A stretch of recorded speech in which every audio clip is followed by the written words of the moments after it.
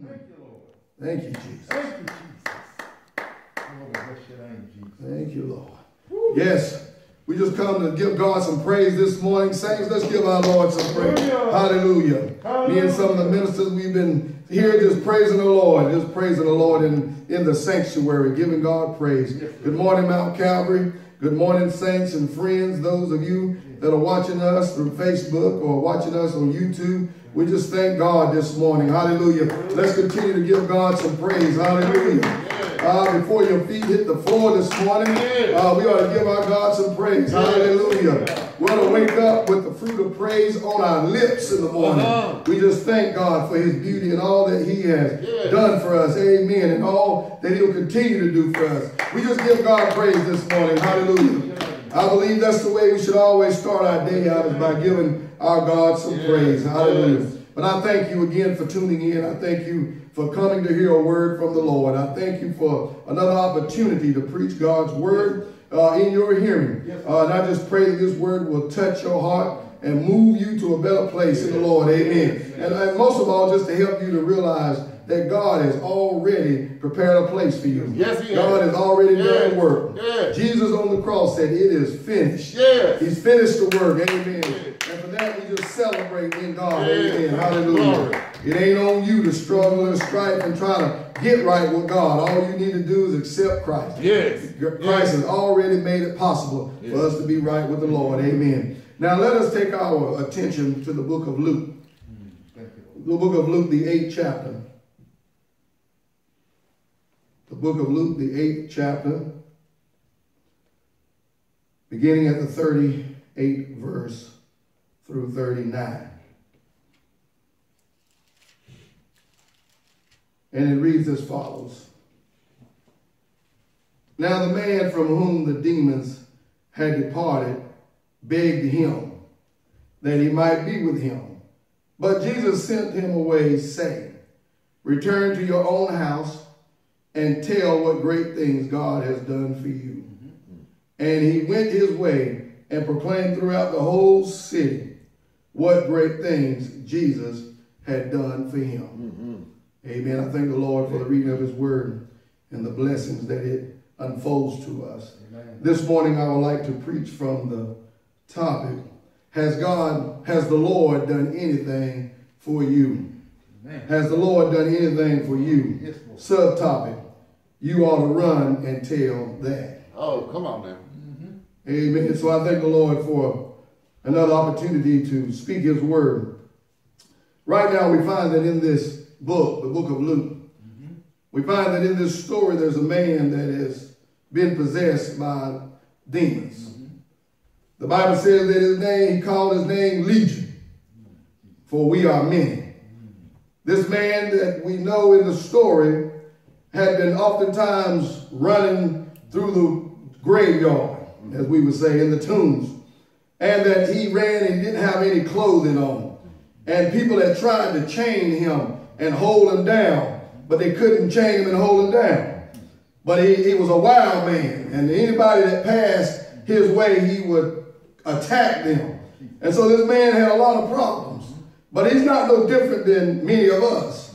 Uh, Job identified it correctly when he said that humans that are born of, of a woman are a few days and full of trouble. Uh, I'm sure that some of us can identify with this man that there's some things that have went wrong in our life at some point.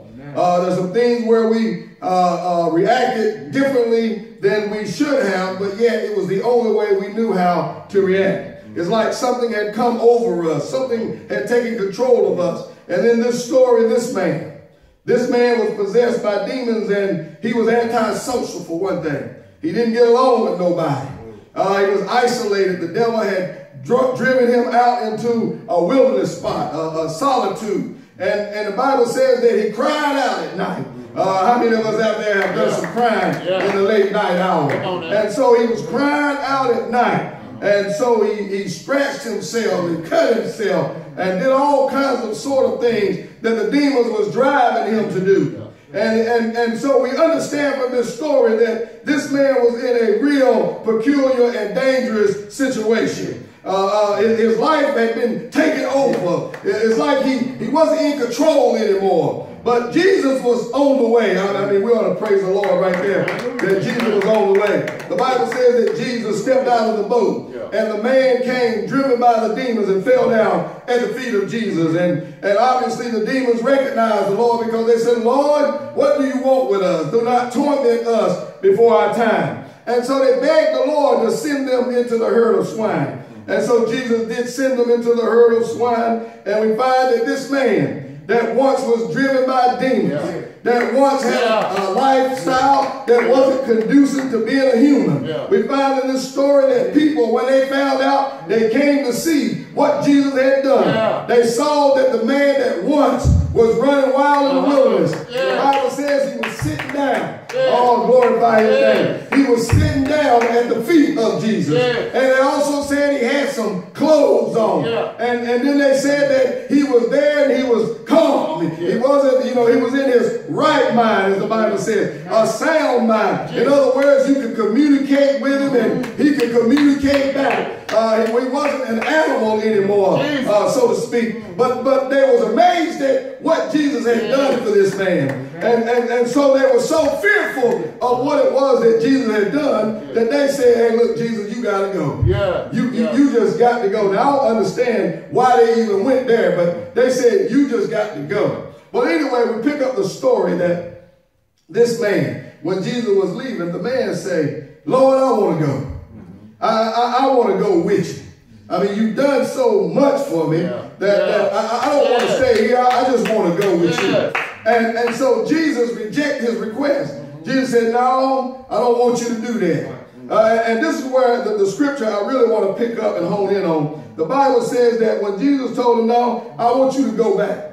I want you to return home. Yeah. And I want you to tell what great things God has done for you. I, I'm here to tell you this morning, saints, that the best sermons don't come across the pulpit. Yeah. The best sermons come from your life when Jesus has changed you. Yeah. When Jesus has life. Yeah. And, and that's the best sermon you can ever tell anybody. You ain't got to go to school to learn how to write a sermon. If God has done anything for you, then you can tell somebody about the goodness of Jesus. That's the sermon that everybody needs to hear. Yeah. How that God picked you up, Yeah. turned you around, Yeah. and put your feet on solid ground. You, the story that people to is that when Jesus touched your life, He changed you. Yes. And so we find in this story, He said, return home. Return home. Return home. You. I like this story because, or this scripture because He said, return home. Uh-huh. Here's a man that at one time didn't have a home, Yeah. had left home and, and was living in the tomb. He didn't have a home, and Jesus said, Listen, I don't want you to continue on living this way. I want you to go back home because somebody got to see what God has done Yes. for you. I, I, I, I'm trying to tell you this morning that somebody got to see what God has done for you. You, you notice in the story, he said, Now go home, and this is what I want you to tell. I want you to tell what God has done for you. I want you to tell the many things that He's helped you to overcome. Now, He didn't say, Go home and tell what all you went through. You see, everybody know what you went through. I, I remember the song that, that the person said, Everybody saw me when I failed, but didn't nobody see me when I got up. And so everybody know what kind of bad person you used to be, Yeah. how you used to run the street, how you used to do all the stuff you used Yeah. to do. Everybody already know that. But what they didn't see was when God touched your life. Yeah. And so Jesus said, you need to go back home. You need to return back to your family. You need to let them see what God has done for Yeah. you. You need to recount what God has done for you. And he said, you need to go tell them of all Somebody. Ought to praise the Lord right now. I, I'm trying to tell somebody today that if God has done anything for you, has he done anything for your life, you need to run and tell him.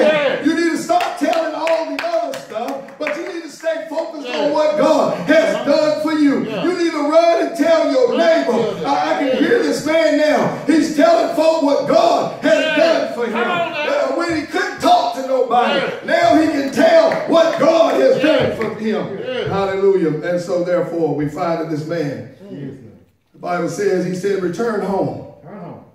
What I like about this story also is The man didn't wait till he got home to start telling about Jesus. Yes.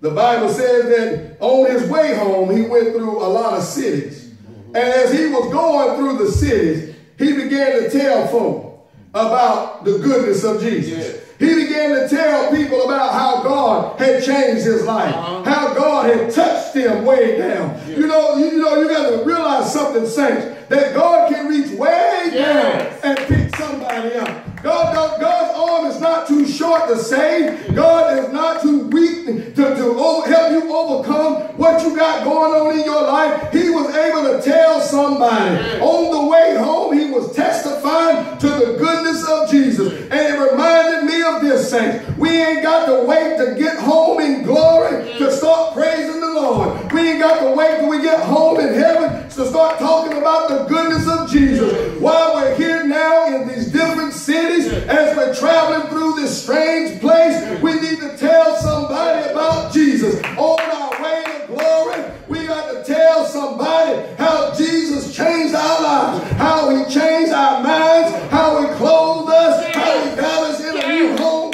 When we get out of the house, we got to tell somebody about Jesus. This man wanted to tell somebody about the goodness Jesus. What did he tell, preacher? He said there was a time when I used to run in the wilderness.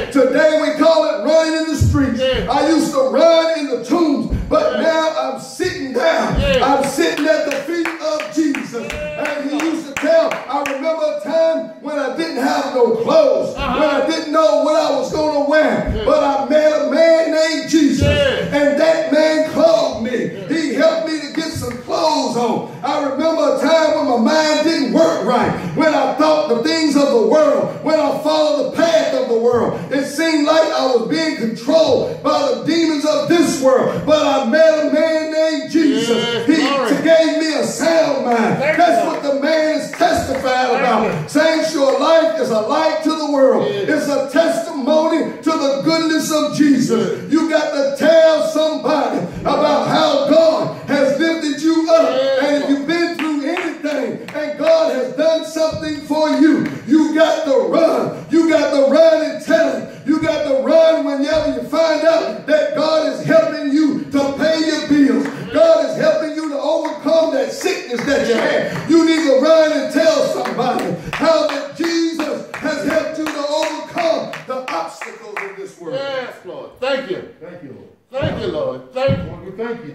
The Bible says that Jesus told a man, Yes. you got to run. Yes. You got to go and tell somebody about the goodness of the Lord Yes.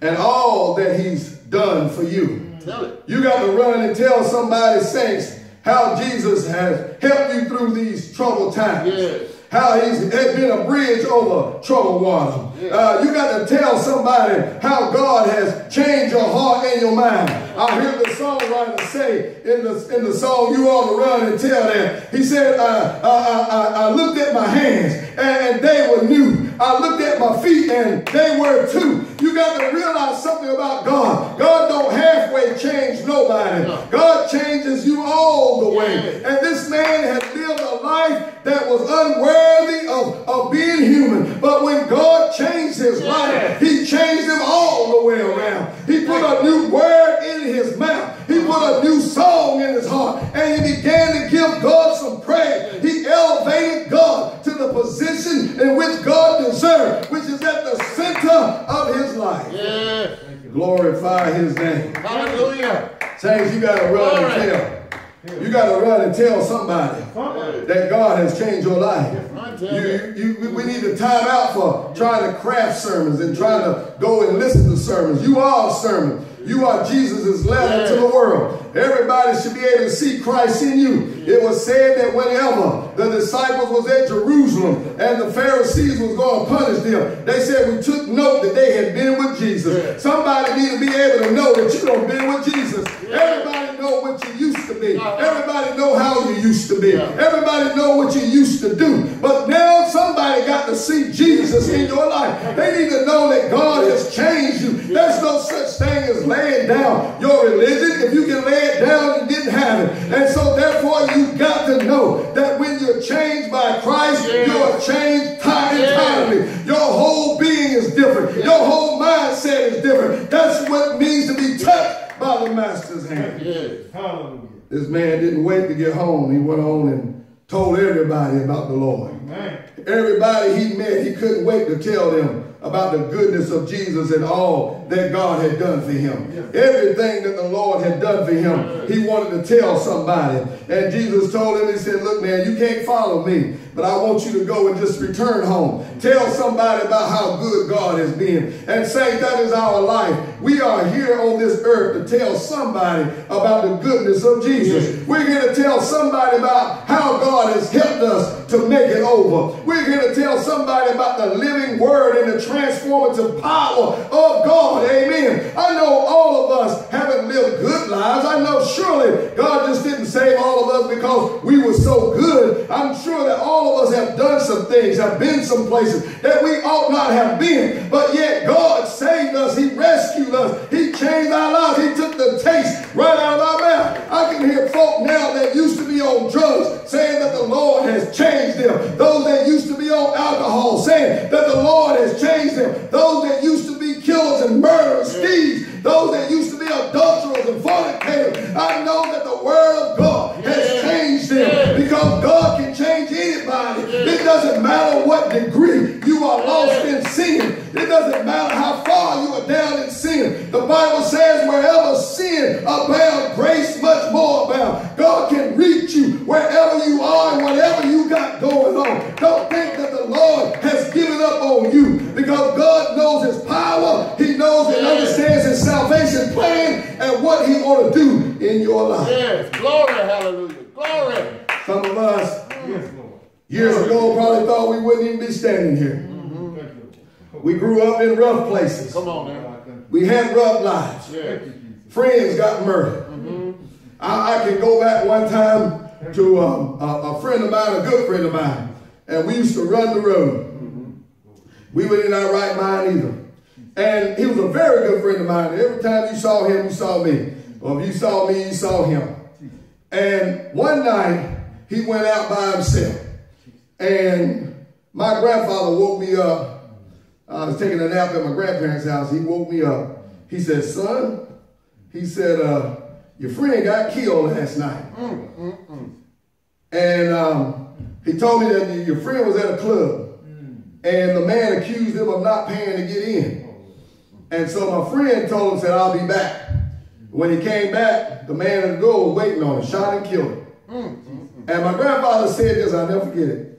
He said, boy, if you'd have been with him last night, Yeah. you'd have been dead. Yeah. So I know about the goodness of Jesus. Yes. I know how God can change you and turn you around. Yes. I know how God can Yes. change your mind. I know how God can use you Yes. even though you've been through a lot. I know how God can Yes. rescue you from the, the grip of the lion. I know how God on can now. rescue you from the devil that's trying to take you out. I know a God that can rescue Yes. you right where you are. Yes. I know Jesus the Christ. Yes. When he came into my life, Uh-huh. it changed my life. It changed my attitude, changed where I come from, changed what I thought about, and now I live my life to the glory of God. Everybody I meet, I got to tell somebody. I got to run and tell done for me. I got to tell how God lifted me up out of the miry clay, turned me around, put my feet on solid ground, taught me how to teach and preach the word of God. I got to tell somebody Yes. about the goodness of Jesus. Yes. And saints, you too have been through a lot. Your life has been in shambles, but yet God has saved you. Yes. Don't hide that